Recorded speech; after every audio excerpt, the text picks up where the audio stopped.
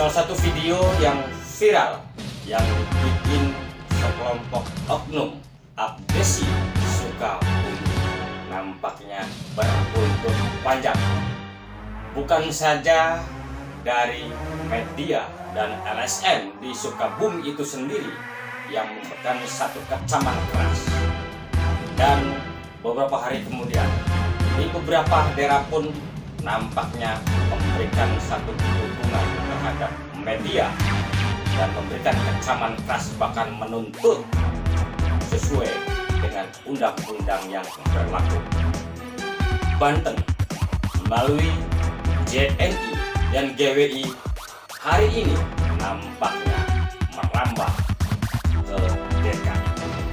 Ikutin terus bersama channel Bang Kubis berbagi dalam tayangan masih seputar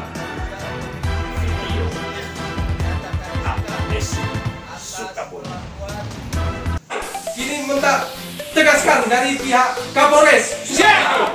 untuk para anggota yang pihak-pihak yang terkaitan provokasi ya tidak ciptakan kenyamanan kepada jurnalis kami wajib akan tuntut Siap, siap. Siap, siap. kami Banten siap akan menghadapi termasuk DKI Siap, Dewan. Pimpinan. Pusat akan turun tangan Siap, siap.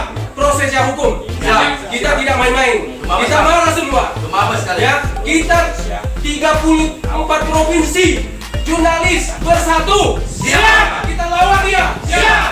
Jolimin Siap. kepada wartawan dan LSM Siap. kita bersatu. Siap. mari.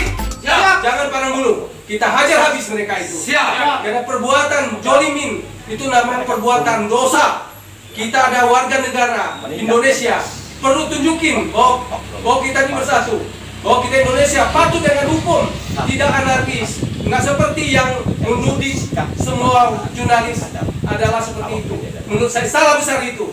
Dari pihak kabupaten dari Sukabumi pimpinan kabupaten bupati tolong segera anak buahnya diseret masuk ke penjara. Siap. tahu akibatnya dia perbuatannya.